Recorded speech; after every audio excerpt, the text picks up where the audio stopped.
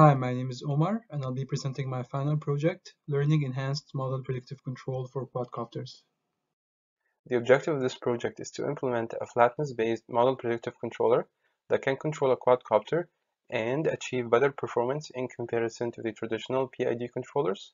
In addition, a secondary objective is to attempt to improve the controller's performance by training a DNN that can be used to adjust the desired trajectory used by the MPC optimization problem. The flatness-based model predictive controller architecture utilizes the differential flatness property of quadcopters coupled with feed-forward linearization. As shown on the right, the output YFT is converted to its equivalent flat state Z. Then the MPC optimization problem is solved in the flat space where the system is linear. The resulting uh, flat input and flat state are then used to calculate the optimal commands for the quadcopter. In order to improve performance, a neural network was used to adjust the reference trajectory used by MPC. The neural network takes in as an input a pair of two consecutive states and outputs a set of positions that should be used by MPC to drive the system from the first state to the second. The network is effectively learning the inverse dynamics of the system. To train the network, a reference trajectory is applied to the system and the observed outputs are used as inputs to the DNN. The approach was tested on various minimum snap trajectories in a simulated environment. FMPC has proved to outperform the PD controller, achieving better tracking performance.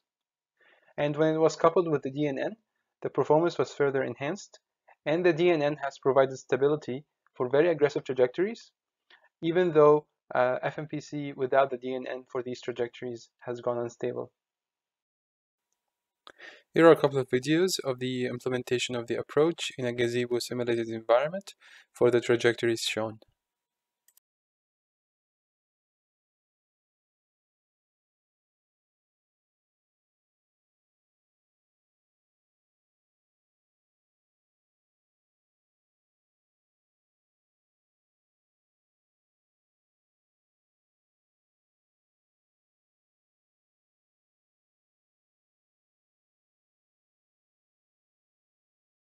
To summarize, FMPC has proved to outperform traditional PD controllers, and when it was coupled with the DNN, the performance was further enhanced.